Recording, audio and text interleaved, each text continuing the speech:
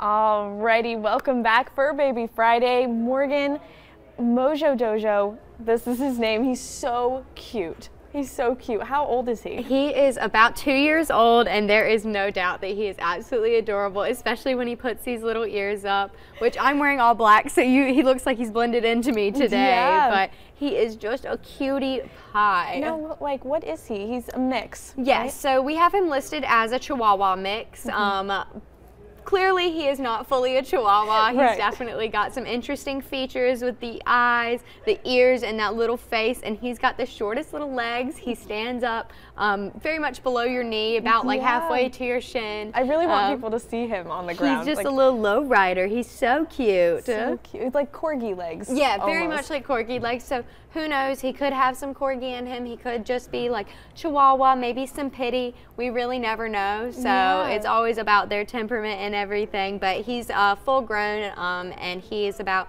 uh, less than 25 pounds, two years old, so definitely a small dog. Yeah. So who would Mojo Dojo be good for? Mojo Dojo is a really sweet dog when he comes around. He can be a little bit nervous at first, um, and it, he does seem more intimidating because of his all black features. Yeah. He is not at all. Um, he just Definitely needs a second not. to warm up to you, and yeah. he's an absolute sweetheart.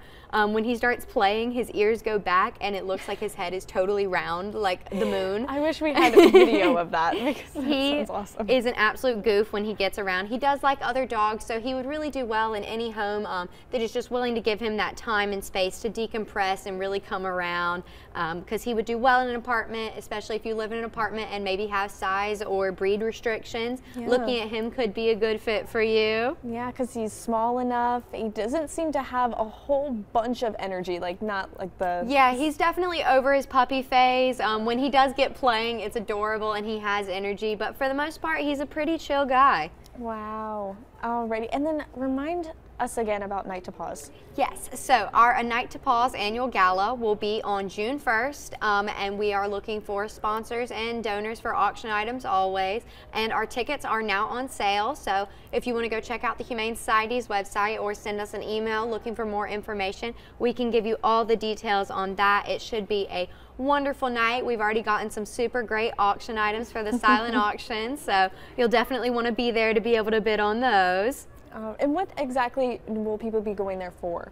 So um, it are it's our annual gala that supports the Humane Society, being that we are a nonprofit. We're 100% donation based. Um, so this is uh, one of our biggest uh, events or fundraisers that provides funding for most of the year. Gotcha. Um, it's okay. more of an upscale event, um, yeah. but we will be potentially having puppies out there this oh, year to walk around. Of course, you so, have to. Um, dinner is provided. It is at the Hilton, um, and it's a lovely night to really just show how much we care about the animals in Eastern NC and how much we're going to do to support them.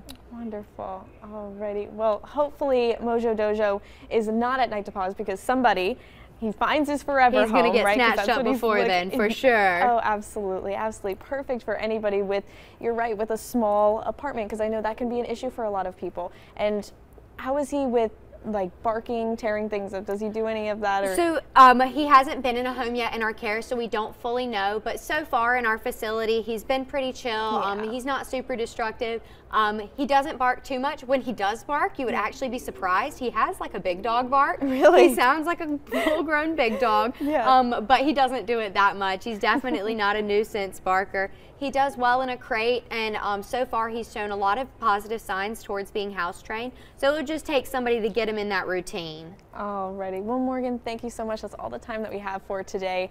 If you are interested in Mojo Dojo, you can reach out to the Humane Society. But for now, don't go anywhere because we'll have more ENC at 3 right after the break.